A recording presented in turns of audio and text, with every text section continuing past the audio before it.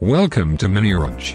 MiniOrange allows you to share your Jira with users even outside Jira. Go to the Jira dashboard and click on the setting icon in the top right corner and select Manage Apps option. You can search here for add-ons in Atlassian Marketplace. Go to the Search tab and type Secure Share Jira.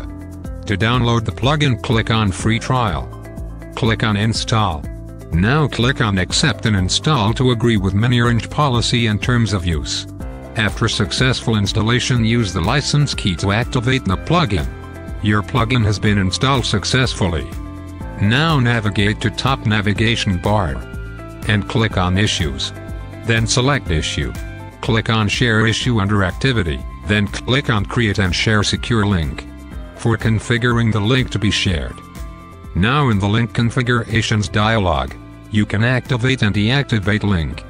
In the link details section, here we can see copy feature is disabled because the link is not saved. Then enter link name of your choice. Now enter the description for the link. In the permissions section, enabling this toggle allows end user to view comments of the Jira issue and similarly for other options in the permissions section, that is add comments, view or add attachments. Under Security, set the duration by choosing the duration type from the drop-down. These are the available duration types to set link expiry. Hours, days, weeks, and months. Currently I have selected hours. Enable Protect Link with Password. Now you can either set your own password or generate a random password for better security. Now click on Save button. Here, you can find the list and share issue tab under activity of the issue. You can also edit and delete the link. The links which have been expired for more than 7 days will be deleted by the plugin automatically. To check the secure share link data, copy the URL and paste it in the incognito window. Here you can enter the password. Go to share issue link section, then copy the password and paste it here.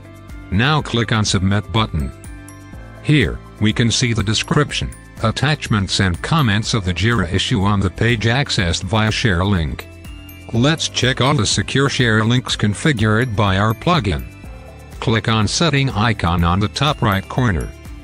Then select manage apps. And click on MiniOrange share issue.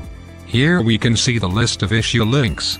Just to remind, the links that are expired for more than 7 days will be automatically deleted. Now let's check how to deactivate the link. Go to Action column and click on Edit.